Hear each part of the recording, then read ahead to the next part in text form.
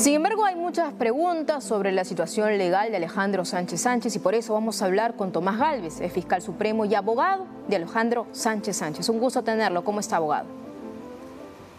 Sí, buenas tardes. Qué gusto y muchas gracias por la oportunidad. Por supuesto, claro que sí. Lo está escuchando toda América Latina. De pronto Alejandro Sánchez Sánchez ha traspasado las fronteras. Bueno, también en información, pero aquí también vamos a hablar de la detención que fue en los Estados Unidos y México, precisamente en la frontera. Mi, mi primera pregunta es, ¿Ha tenido usted comunicación de Alejandro Sánchez Sánchez en las últimas horas, tal vez con la familia? ¿Qué hay en estos momentos sobre su situación legal y qué le estaría recomendando usted como su defensa técnica? Mire, en realidad no ha sido posible comunicarnos, ni la familia ni mi persona. Sin embargo, hay un familiar en Estados Unidos que está coordinando sobre todo para hacer llegar sus medicinas porque él tiene problemas mm, severos con el estómago y tiene continua, entonces sobre todo para eso, porque en realidad lo que se quiere es que sea retornado inmediatamente al país para que acá se esclarezca su situación legal y pueda recobrar su libertad eventualmente. Se encontraba él prófugo de la justicia, tenía una orden de 30 meses de prisión preventiva. A ver, ¿Cómo es así que Alejandro Sánchez Sánchez llegó a la frontera con México y los Estados Unidos y luego fue detenido ilegal? ¿Usted sabía del paso a paso o lo que su patrocinado hacía? Porque me imagino que también su recomendación hacia él es haga esto, haga lo otro, hay una estrategia legal de por medio. ¿En qué momento usted se enteró que él se encontraba ahí?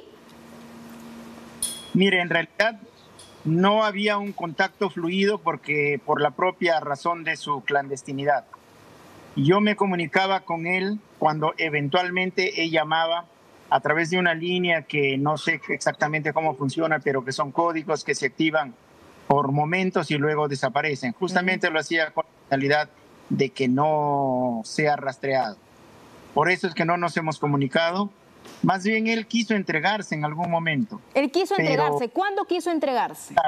Más o menos hace mes y medio o dos meses, cuando se estaba ventilando la apelación de la incautación de su casa de Zarratea, porque esa casa lo incautan aduciendo que se trataba de un instrumento del delito. Pero eso por la propia naturaleza de las cosas no puede ser instrumento del delito de tráfico de influencias y de organización criminal que le imputaban.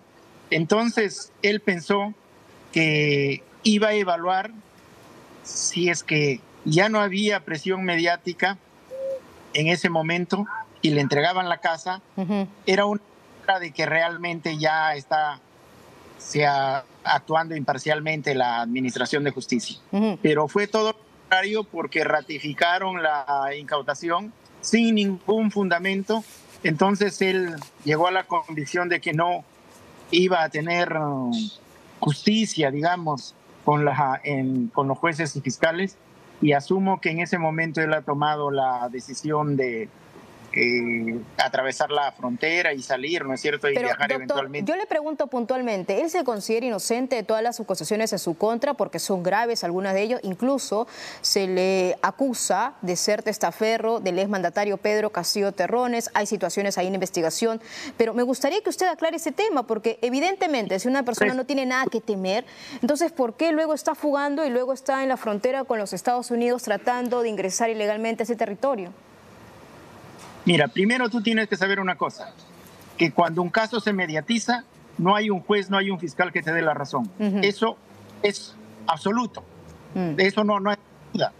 Entonces, a él le dieron prisión preventiva de 30 meses en esas condiciones. Ahora, efectivamente, él se considera absolutamente inocente y yo que he revisado las carpetas de la investigación, no hay ninguna sola prueba que lo incrimine. Eso por un lado. Y cuando dice que este estaferro de la Casa de Asia, eso es una aberración jurídica. ¿Por qué? Porque realmente esa casa, ese terreno, él lo adquiere en el 2020, cuando Pedro Castillo ni siquiera pensaba ser candidato. Entonces, ¿cómo se vas a decir o van a decir que es testaferro de Pedro Castillo para empezar, Castillo no tenía esa la posibilidad económica para comprar un terreno. En primer, antes de ser presidente. Entonces, es imposible que él sea testaferro, sin embargo, porque lo vieron una vez que creo que fueron a almorzar ahí, porque era una casa de, de Alejandro, y obviamente Alejandro le había dado la casa de Zarratea, y un día se van a almorzar de Asia, y por eso dicen que era testaferro, cuando en realidad ni siquiera se han terminó, ni siquiera se ha dado en averiguar cuándo compró esa, ese inmueble.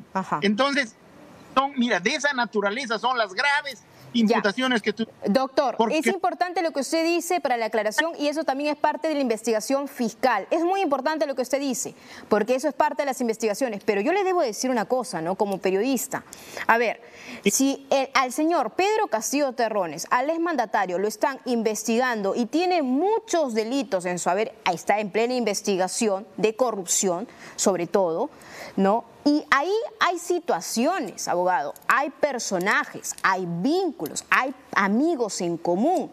El pasaje Zarratea, la casa del señor Alejandro Sánchez Sánchez, ahí iban todos. Cuando no iban a Palacio de Gobierno, iban a pasaje Zarratea. Entonces yo me pregunto, o le pregunto a usted, ¿habría la posibilidad de que Alejandro Sánchez Sánchez podría colaborar con la justicia en ayudar a esclarecer algunas situaciones de corrupción donde tal vez él no se pues culpable, pero que sí sabe información muy susceptible, muy sensible, porque incluso conocía a los sobrinos del mandatario. Mira, me has hecho cinco preguntas en una, déjame contestar. Adelante. Primero, primero, el hecho que una persona le dé su casa a otra persona, una casa donde no vive, la persona que está viviendo, pues obviamente se puede reunir con quien fuese, mm. con quien sea, mm. ¿ya? Y eso no tiene nada que ver el dueño de la casa porque no vive ahí. Primero. Segundo, seguramente que ahí se ha reunido, como usted dice, que se han reunido muchas personas, pero eso es de la responsabilidad de quienes se han reunido. Él no vivía ahí y no ha participado en ninguna de las reuniones. Ahora, ¿qué cosas se dicen los delitos graves que dice? Primero, que ha financiado la campaña y que le ha dado la casa. Darle la casa no tiene ninguna naturaleza delictiva. Financiar la campaña, eso es falso. Él solamente ha contribuido con la casa y con el alquiler de la, del local del partido en la Avenida Colón. Entonces, ¿qué sucede? Ninguno de esos hechos tiene naturaleza delictiva, pero acá lo han presentado como que es el financista, como que él ha participado en todas las reuniones de Castillo, cuando él en realidad no ha participado en ninguna. Y, y la muestra es que cuando la los medios de prensa han estado filmando, digamos, de una manera subrepticia, los quienes llegaban. Nunca han visto que ha llegado Alejandro, porque él no vivía ahí. Entonces, acá se ha distorsionado totalmente y esto realmente va a ser peor que el caso de Odebrecht. Yo lo dije que los fiscales de, que investigaban a Odebrecht estaban trabajando para la empresa, estaban encubriendo. Así fue. Por eso me destituyeron como fiscal supremo. Mm. Y ahora todo el mundo sabe que eso fue así. Y ahora lo digo. este esta investigación está totalmente distorsionada. Ojalá la fiscalía eh, tenga el buen criterio de enrumbar debidamente la investigación, porque así como se está enfocando, la verdad que no vamos a llegar a buen puerto, pero esta es la última pregunta que usted me hacía si piensa colaborar, él no puede someterse a colaboración eficaz porque él no ha participado en ningún delito. El colaborador eficaz parte asumiendo su responsabilidad en ¿Como un delito. testigo protegido? Ya, como testigo mm, protegido no, porque él ha ofrecido abiertamente su testimonial a la fiscalía. Ya dos veces su testimonial. Pero ¿qué sucede? La fiscalía ha considerado que esa información no es relevante y no le ha aceptado la, el testimonio. Eso obviamente ahora que está detenido va a tener que dar y ojalá la fiscalía lo tome, esa, va a tener que dar esa información y ojalá la fiscalía lo tome en cuenta y obviamente tal vez pueda mejorar su situación jurídica. Doctor Eso sería se me, va, se me va el tiempo, pero solamente quería hacerle una pequeña preguntita, por favor. ¿Expulsión o deportación? ¿A qué están apuntando la defensa legal de Alejandro Sánchez Sánchez? la defensa se ha sometido plenamente o está sometida plenamente a la autoridad migratoria de Estados Unidos y sobre todo a la coordinación que haga la Cancillería para, eh, para que venga inmediatamente al país donde esperamos esclarecer su situación. Claro.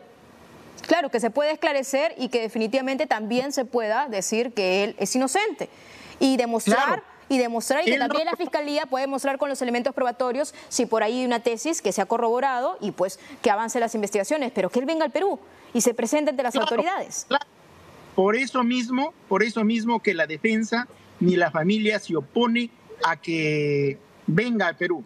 Nadie está como, como se dice en muchos medios, que se declare perseguido político, no, absoluto. Sin embargo, esto quiero decirle, sí. hay personas, hay unas ONGs que están pidiéndole a la familia que los autorice para que ellos digan que se trata de un perseguido político, lo cual la familia ha rechazado categóricamente porque todos quieren que venga al país para esclarecer su situación. Muy bien, yo le agradezco al doctor Tomás Galvez, es fiscal supremo y abogado de Alejandro Sánchez Sánchez por su tiempo con DINEWS, por esas declaraciones, por la deferencia. Vamos a estar muy atentos de estas investigaciones. Gracias, doctor.